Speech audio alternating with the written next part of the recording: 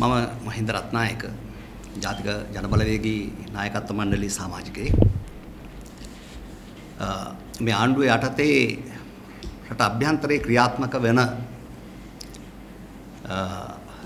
දේශපාලන සමාජ ආර්ථික කරුණු සම්බන්ධයෙන් හරි සහෝදරිය යම් පැහැදිලි කිරීමක් කළා.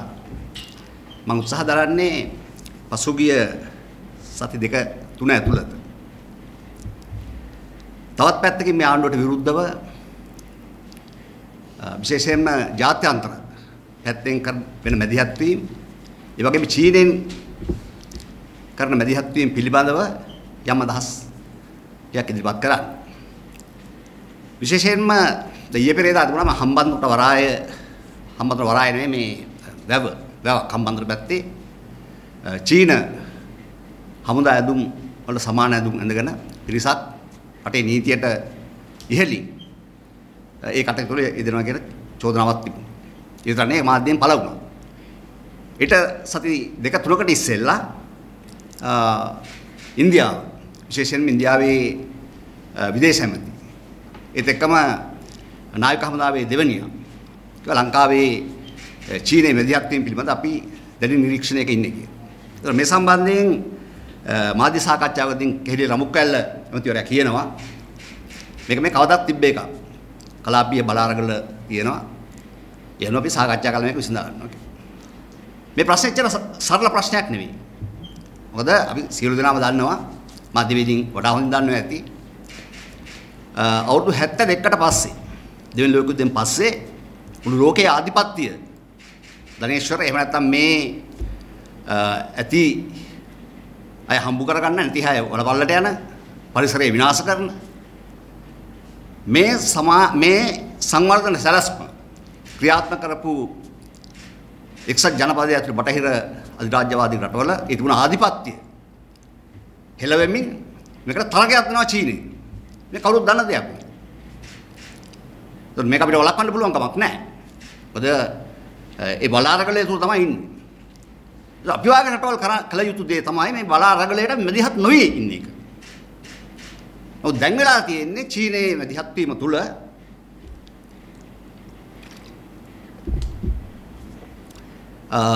විශාල වශයෙන් මේකට ප්‍රතික්‍රියා දක්වමින් පවතින. විශේෂයෙන් මේ මේ ප්‍රොජෙක්ට් එක මේ මේ මේ ලෝක බලතුලනේ වෙනස් කරගන්න ප්‍රොජෙක්ට් එක කවුරුත් දන්න විදිහට one road one belt එක් තීරයක් එක් මාවතක්. ඒතර එක් මාවතක තියෙන ප්‍රධාන මධ්‍යස්ථාන දෙකක් තමයි එකක් දකුණු ආසියාවේ ලංකාව අනිත් එක මැද පෙරදිග ඉරානය. මේ මේ ව්‍යාපෘති දෙකට මේ මේ මේ මේ සමස්ත ලෝකයේ පුරා මේ ක්‍රියාත්මක වෙන ව්‍යාපෘතියට චීනය වැය කරනවා මිලියන ට්‍රිලියන ට්‍රිලියන හතරක්. ඒ කියන්නේ බිලියන 4000. බිලියන 4000. 4.12. ඒ තරම් දැවැන්ත ව්‍යාපෘතියක් මේක.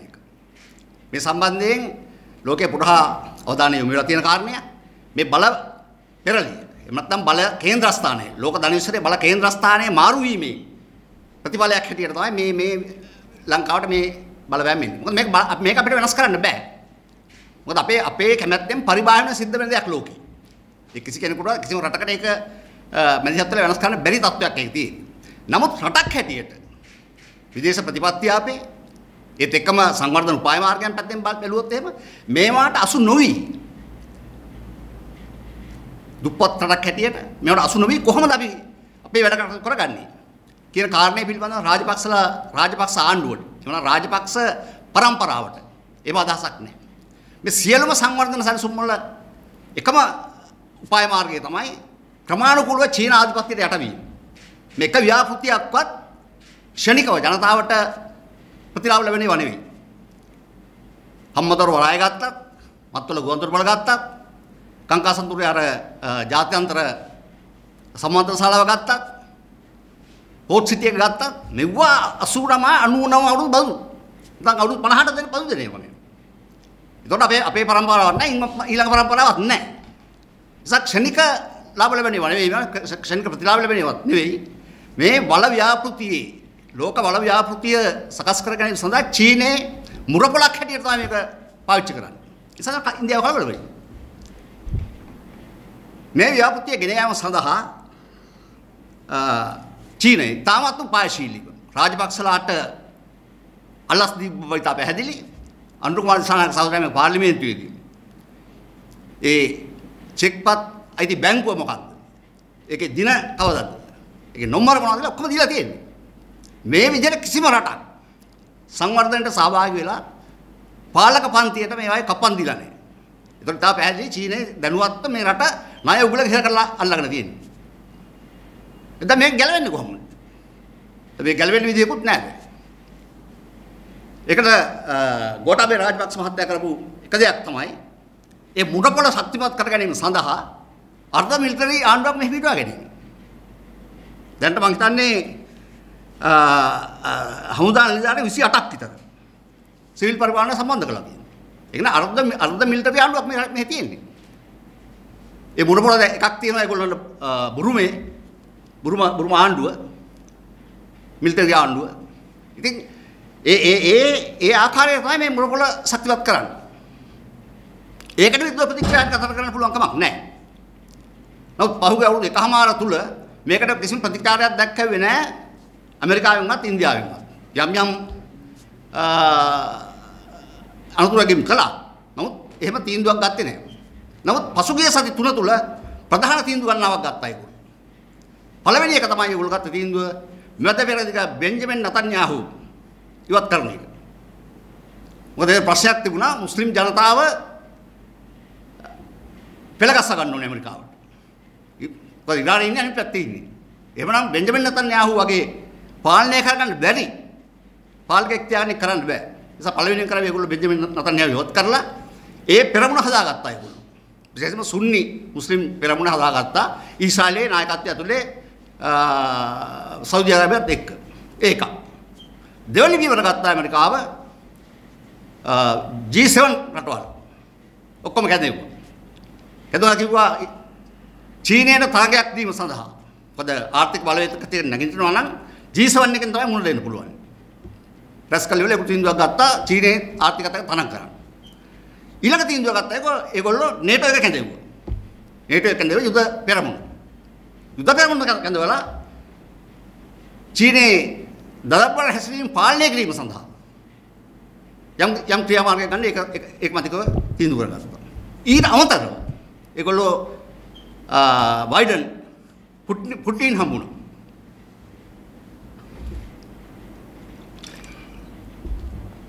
ඒකේ න්‍යෂ්ටික බලය පිළිබඳව සාකච්ඡා කළේ. ඒගොල්ලන්ට අවශ්‍යයි රුසියාව ඒක නිහඬව ඉන්නවද නැද්ද කියන දැනගන්න ඒ සාකච්ඡාවේ තොරතුරු එළියට ආවේ නැහැ. ඉන් පස්සේ තමයි ඉන්දියාව ඩෝන යාත්‍රා අනුමත කරන්නේ. ඒත් එක්කම තමයි ප්‍රංශයෙන් ගුවන් යාන ප්‍රහාරක යාන අනුමත කරන්නේ. දොරදාන ආණ්ඩුව කලබල වුණා. කලබල වෙලා විදේශ ඇමති ගිහිල්ලා සාකච්ඡා කළා ඒක නිහඬ කරගත්තා කියලා කිව්වා. නමුත් ප්‍රශ්නේ තියෙනවා. ඒක අපි දැනගත යුතුයි. ඊට පස්සේ යුරෝපා සංගමය රැස් වුණා. යුරෝපා සංගමය රැස් වෙලා ලංකාවේ සිවිල් පරිපාලනයේ බිඳවැටීමත් මිලිටරි කර්ණය ව්‍යාප්ත වීමත් ඒත් එක්කම මිනිස්සුන්ගේ මානව හිමිකම් කඩවීම සම්බන්ධවත් ඒගොල්ලෝ රටවල් 725ක් එකතු වෙලා ලංකාවට විරුද්ධව යෝජනාවක් ගෙනාවා. ඒකෙන් 628ක් ඡන්දදිලේ යෝජනාව සම්මත වුණා. ඒතර ඒකේ කරුණු ගණනාවක් තියෙනවා. සිවිල් සමාජ අවකාශය හා මාධ්‍ය නිදහස වේගෙන් හැකිලී යෑම ඊට අමතරව දස්තවාදී වැලකීම් මනත යටතේ නඩු නැතුව වසර දෙකක් හඳවාගෙන තබා ගැනීම. හිස්බුල්ලා හා අර මුස්ලිම් කවියා නිදහස් නොකර තබා ගැනීම. විසිවෙනි සංශෝධනයල අධිකරණයේ ස්වාධීනත්වයට බලපෑම් කිරීම. ශානි අබේසේකර අත්අඩංගුවට ගැනීම. හිරකෙතරදී හිරකරුවන් ඝාතනය කිරීම ඊට අමතරව පොලිස් අත්අඩංගුවේදී මේ යෑම පාස්කු ප්‍රහාරය පිළිබඳව කතෝලික පල්ලියේ මේ බලපෑම් ඉතා විශාලයි. මොකද කතෝලික පල්ලිය කියන්නේ ලෝක පරිපාලනව බලපාන සංවිධානයක් ඒක. ඒ බලපෑම් මේ මේ ඔක්කොම මේ යෝජනාවට ඇතුළත් වෙනවා. ඉතින් මේකේ මේකේ ඊළඟ අනුතර තමයි GSP ප්ලස් සහනය නැති වෙන එක. ඒත් එක මේකට මුහුණ දීම සඳහා වහාම මේ කවුද නාමල් රාජපක්ෂ පාර්ලිමේන්තුවේ කිව්වා මේ හිරකරුව අපි නිදහස් කරනවා කියලා. දැන් ඊයේ පෙරේදා කොහොමද නිදහස් කරා. නමුත් ඒගොල්ලෝ නිදහස් වෙන්න හිටපු කට්ටිය ආරංචි විදියට. සිරතලම ගොඩක් කාලයක් ගෙවලා මාස දෙකක් තුනක් තමයි නිදහස් වෙන්න තියෙන්නේ. එපනේ ඒ ඒ ඉල්ලීම තියෙන්නේ මේ නඩු නැත්තම් සියලු දෙනා නිදහස් කරන්න. ඒගොල්ලෝ ඉල්ලන්නේ. ඒක ඒක ඒක සාධාරණයි. මොකද LTT සැකකරුවෝ වුණාට දැන් ඒකේ නායකයෝ ඉන්නවා ඔක්කොම. එළියට ඇවිල්ලා. කරුණා අම්මානේ ඉන්නවා. පිල්ලයන් ඉන්නවා. ඒ විතරක් නෙවෙයි. ප්‍රභාකරන් ළඟට හිටපු අනිත් එක්කන ඒගොල්ලෝ නායකයා. එයාගේ ඒ LTT එකේ තිබෙ වස්තු සම්මානය මොකක් වුණාද දන්නේ නැහැ කවුරු. එයා දැන් නගරේ නග උතුරු පළාතේ මං හිතන්නේ සුව සාධන වැඩ කරනවා කියලා ආරංචි. මේක තමයි තත්ත්වය. ඒක ඉතා පැහැදිලි මේ ආණ්ඩුවට විරුද්ධව ජාත්‍යන්තර බලපෑම විතරක් නෙවෙයි යුදමය බලපෑමත් එල්ල වෙන්න ඉඩ කළ තියෙනවා. මොකද මේ මේ මේ මේ බල ජාත්‍යන්තර බල අරගලේ බල බල අරගලයක ගොදුරක් මේක දැන්. මහින්ද රාජපක්ෂලා තමන්ගේ බල උවමනාවන් වෙනුවෙන් මේ රට ඒ දැන් පාවා දීලා තියෙන්නේ. ඊළඟ කාරණේ තමයි දැනගත යුතු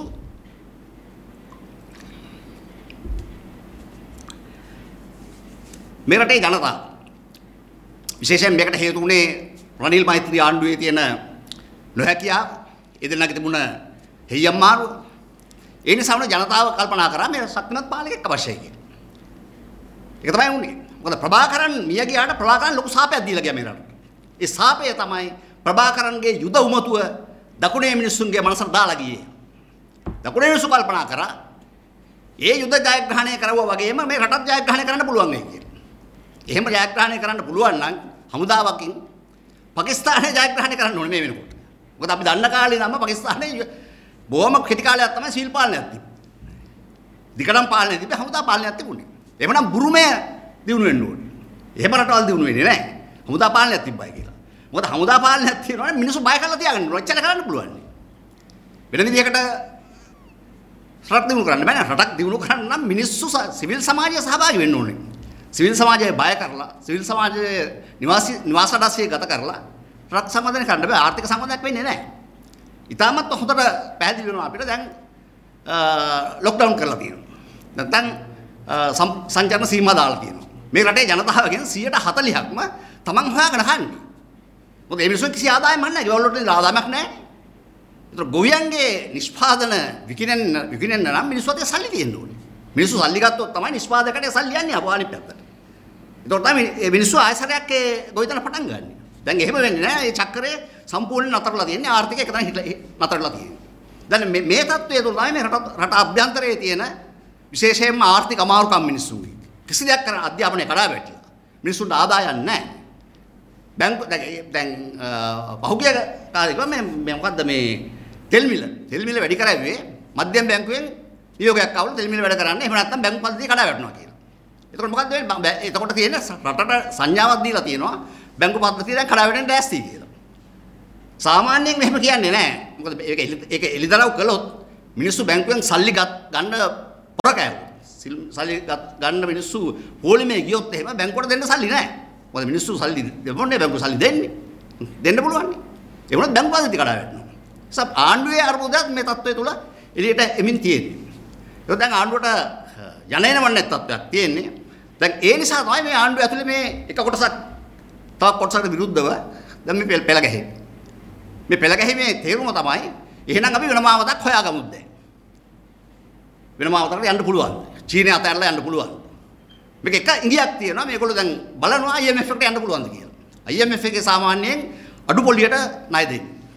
නමුත් IMF එක ණය දෙන එකෙන් කරන්නේ ඒගොල්ලෝ කියනවා ඒගොල්ලෝ පැකේජ් එකක් එක දෙන්නේ. පැකේජ් එක තමයි තියෙන සියලු දේවල් පෞද්ගලිකකරණ කරන්න. ජනතාවට දෙන සහන දාන ඔක්කොම කප්පාදු කරන්න. චීනේ චීනේ හුරාගෙන කරනවා වගේ තමයි ඒගොල්ලෝ කියන්නේ. ඒතකොට මේ දෙකට හිරලා තමයි තියෙන්නේ ආණ්ඩුව මේ දෙකට හිරලා තියෙන්නේ දැන්. ඒතකොට මේකේ තව දෙයක් අපිට හිතා ගන්න දෙයක් තියෙනවා. මේ බැසිල්ගේ පැමිණීම. ආණ්ඩුව ඇතුලේ බෙදීම තිබුණා දිගටම. කොටසක් කිව්වා චීනයත් එක්ක යන් කියලා කොටසක් කියනවා IMF එක එක්ක යන් කියලා. දැන් IMF පැත්තට හැරීම හැරෙන ගතියක් තියෙනවා. ඒත් එක්ක තවත් එක ඉඟියක් තමයි රනිල් වික්‍රමසිංහ පාර්ලිමේන්තුවට පැමිණීම. මොකද එයාත් ඉන්නේ ලයින් එකේ ඉන්නේ. එතකොට ආණ්ඩුව ඇතුලේ එහියමාරුව පහට එහාට මෙහාට කරකෙයිද කියන අපිට කියන්න බෑ. නිසා අපි ඉදිරියේ බලාගෙන ඉන්නේ මේ ආණ්ඩුව ඊළඟ ගන්න කරන මොකද්ද කියලා. ජාතික ජනබල බලවේගයේ හැටියට අපිට මේ තෝරා ගැනීමක් නෑ මේ දෙකේ. මොකද මේ දෙගොල්ලම දෙගොල්ලගේම සංවර්ධන සැලසුම එකම සංවර්ධන සැලසුම. මොකද චීනය ඒ පැත්තෙන් ඒ පැත්තෙන් හුරාන කන්න බලනවා මේ පැත්තෙන් IMF එක සාමාන්‍ය ජනයාගේ පටි පටි තද කර ගන්න කියලා තමන්ගේ වැඩ පිළිවෙල කියන තමයි උත්සාහ දරන්නේ. ඒක ජාතික ජනබලවේගය හැටියට අපි අපි කියන්නේ ජනතාවාදී ජනතාව ජනතාව සහභාගී කරගත හැකි. ජනතාවට ප්‍රතිලාභ ලැබෙන සංවර්ධන මාවතකට මේ රට යොමු කරගත යුතුයි. එහෙම නැත්නම් මේ රට අනාගතයක් නැහැ. ඒ නිසා අපි ජනතාවගෙන් ඉල්ලා සිටින්නේ තමුන්නාන්සේලා සංවර්ධනයක් බලාපොරොත්තු වුණා. රාජපක්ෂලාගෙන් බලාපොරොත්තු වෙන පුළුවන් සංවර්ධනය තමයි චීන ගොඩනැගිලි වලට ලයිට් දාලා ඕන්නම් ඔක බල බල ඉන්න පුළුවන්. තමන්ට ප්‍රතිලාභයක් ලැබෙන්නේ නැහැ. ඊට අමතරව රාජපක්ෂ නොනිල රජ පවුලේ සංකේතයක් වන අර සිවලිංගයක් වගේ තියෙන්නේ නිලුම් කුළුවන. ඕකට වන්දනා කරගෙන ඉන්න පුළුවන් ලයිට් දාලා. ඒ අරෙන්නට වෙන දෙයක් වෙන්නේ නැහැ මේකේ. මේ සංවර්ධන ස්වභාවය ඒකයි. මේ සංවර්ධනය ජනතාවට ලැබෙන සංවර්ධනයක් නෙවෙයි. දැන් මහින්ද රාජපක්ෂ අවුරුදු 15ක් මේ රටේ ඒ පවුල පාලනය කරනවා. ඕනෑම රටක් සංවර්ධනය කරන්න පුළුවන් අවුරුදු 7ක් නැත්නම් 8ක් යන්නේ. ඒ ඒ සංවර්ධන සලස්ම ක්‍රියාත්මක කරන්න මේ රට සංවර්ධනය කරන්න පුළුවන් මොන ආකාරයකද කියන එක තීන්දුව කරන්න ඕනේ ඉස්සෙල්ලා. මොකද මේ රටේ සංවර්ධන සලස්මක් කියලා මේගොල්ලෝ කරන්නේ වැඩියෙන් කොමිස් කුට්ටිය ලැබෙනවා නම් ඒගොල්ලෝ යෝජනා කරනවා නම් මෙන්න මෙතන අපි වරායක් හදමු කියලා ඒක හදනවා. ඒකේ ඒකේ සංගත භාවයක් නැහැ. ඒකේ ඵල ප්‍රයෝජන මොකද්ද මේ රට ලැබෙන්නේ කියන එකක් නැහැ. තව දැන් මොකක් හරි හදන්න කිව්වොත් ඒක හදනවා. මොකද ඒ අමාත්‍යවරයාට හමු වෙන කොමිස් මුලද. ඒ වගේ රට පුරා ලොකු ගොඩනැගිලි ගන්නක් තියෙනවා. කිසිම ආදායමක් නැහැ. ඒවන අත්තු කරගෙන ඉන්නවා. ඒවට පරම්පරා ගානක් ණය ගන්න ඕනේ. සංවර්ධනයක් නැති ගොඩනැගිලි ගොඩක් තියෙනවා. ඒවා යුද මධ්‍යස්ථාන හැටියට පාවිච්චි වෙන්න පුළුවන්. මොකද මේවා ඔක්කොම චීනුන්ඩයිද ඒවල සල්ලි ගන්න විදිහක් නැහැ. ඒ නිසා මේ රටේ ජනතාව දැන් හරි තේරුම් ගන්න ඕනේ අපිට වෙනත් මාවතක් පාදා ගන්න නැතුව මේ දෙගොල්ලන්ගේ මේ සංවර්ධන මාවත තුල ගිහිල්ලා මේ රට අනාගතයක් නැහැ. ඒ නිසා සියලු ජනතාවට අපි ආරාධනා කරනවා ජාතික ජනබලවේගයේ වටා ඒකරාශී වෙමින් මේ දුර්දාන්ත පාලනය පළවා හැරීම සඳහා සියලු බලවේගයන් ඒකරාශී වෙන ලෙස ඉල්ලා සිටින්න නිහඬ වෙනවා. දැන් මගේ කතාවේදී මම කිව්වා දැන් මේ රටේ සංවර්ධන මාවත දෙකක් මේ ආණ්ඩුව තුල තියෙනවා කියන. කණ්ඩායම් දෙකක් තියෙනවා. කොටසක් කියන චීනයත් එක්ක ගිහිල්ලා මේ රට සංවර්ධනය කරන්න පුළුවන් කියලා. මම ඉස්සර මේ කතාව කිව්වා. ඒතර අනිත් කොටස කියනවා නෑ IMF එකත් එක්ක. ඇමරිකාව ඇතුළු ඒ කඳවුරත් එක්ක එකතු වෙලා ඉන්දියාවත් එක්ක එකතු වෙලා ඒ කඳවුරේ ගියොත් අපිට ඒ ඒ සමාජ ආර්ථික වැඩපිළිවෙල ක්‍රියාත්මක කරන්න පුළුවන් නම් මේ රට සංවර්ධනය කරන්න පුළුවන්. නමුත් දැන් ගෝඨාභය රාජපක්ෂ මහත්මයා චීනයේ බලයත් අරගෙන යම් මිලිටරි ජුන්ටාවක් හදාගෙන ඒක ඒක පාවිච්චි කරලා ජනතාව මර්ධනය කරමින් ඒ මාවතේ තමයි යන්න බැලුවේ. නමුත් දැන් රියැක්ෂන් එක එනවා බටහිරින්. ඇමරිකාව ඉන්දියාව දැන් ලෑස්ති. යුරෝපා සංගමේ ලෑස්ති දැන්. දැන් මෙතන දැන් හිර වෙලා තියෙන්නේ. මේත් එක්කම දැන් ආණ්ඩුවේ ආර්ථික අර්බුදයත් එක්ක ආණ්ඩුවේ ආර්ථික අර්බුදයත් එක්ක ආණ්ඩුව උත්සාහ කරනවා IMF පැත්තට හැරෙන්න. ඒකට මේ මේ ප්‍රොජෙක්ට් එකේ ඉන්නවා රනිල් වික්‍රමසිංහ. හරියට හරි. බැසිල් ඉන්නවා මේ ප්‍රොජෙක්ට් එකේ. ඊට අමතරව මිලින්ද වරකට ඉන්නවා මේගොල්ලොත් එක්ක. එතකොට කුඩා පක්ෂ ටිකක් තියෙනවා ඒ වාමාංශික බෝඩ් ඇලි තියාගෙන ඒගොල්ලෝ හිතනවා මේ චීනය කොමියුනිස්ට් චීන කොමියුනිස්ට් පක්ෂය රතු කොඩිය දාගෙන හිටියට දැන් අපි මේ ඒක ප්‍රගතිශීලී කියනවා. ප්‍රගතිශීලී නෑ චීන කොමියුනිස්ට් පක්ෂය කියලා කියන්නේ ඒක ධනවාදී පක්ෂයක් අද. ඩෙන්සියාවපින්ගෙන් පස්සේ මාෝගේ ගමන රටල අනිත් පැත්තට ගිය පක්ෂයක් ඒක. මේ වෙනකොට චීනයේ ඉන්න දළවති පන්තිය කියලා කියන්නේ කොමියුනිස්ට් පක්ෂයේ නායකයෝයි නිල්ලාට තන්ත්‍රය. කෝටිපති ඔයගොල්ලෝ. ඒගොල්ලෝ රාජ්‍ය මෙහෙමලා තමයි යන්නේ. ඒ මේ මේ මේ ධනේශ්වර පාලනයක් චීනයේ තියෙන්නේ. ඒ නිසා මේකේ මේ මේ දෙකක් නැහැ. මේ පැත්තට ගියාද මේ පැත්තට ගියාද? අපි කියන්නේ මේ මේ දෙපැත්තම මේ ආර්ථික පොළොල් දෙකෙන්ම මේ රට සංවර්ධනය කරන්න බෑ. ඒ නිසා තමයි අපි කියන්නේ තුන්වෙනි මාවතක් අපි යෝජනා කරන්නේ. මොකද IMF එකත් එක්ක ගියානේ. IMF එක ගිහිල්ලා මේ රට සංවර්ධනය වුණේ නැහැ. අනිත් එක ලතින් ඇමරිකාවේ මේ ප්‍රොජෙක්ට් එක ක්‍රියාත්මක කළේ. ලතින් ඇමරිකාව අදත් ගොඩ ඇවිල්ලා නැහැ. ඒසයි ඒක අසාර්ථක ප්‍රොජෙක්ට් එකක් ඒක. ඒක තමයි දැන් ක්‍රියාත්මක කරන්න උත්සාහ දරන්නේ සමහර විට යන්න බැරිද. මොකද රනිල් වික්‍රමගේ පැමිණීමත් මේකේ මොකක් හරි එකක් වෙන්න පුළුවන්. ඒගොල්ලෝ එකතු වෙලා ඒ වෙනම ආවතක් අපි වෙන්න නම් කියන. ජාතික ආණ්ඩුව දැස් වෙනවනේ. මම මම හිතන්නේ දැන් ඊයේ පෙරේදා මුත්තට්ටු ආනන්ද හාමුදුරුවෝ. කර්ණමක් ගන්න බව තමයි පේන්නේ. මොකද එයා රනිල් වික්‍රමසිංහලා අලුත් නායකයෙක් වගේ හඳුන්වලා දෙන්න උත්සාහ කරන්නේ. මේ හාමුදුරුවෝ මේගොල්ලෝ කොහොම පෙළ ගැහෙද කියලා කියන්න බෑ. නමුත් මෙතන මේ මේ මාවතේ මේ ආණ්ඩුවට යන්න බැරි බව පැහැදිලිද? නිසා ඒ චේන්ජ් මොන හරි වෙයි සමහර විට.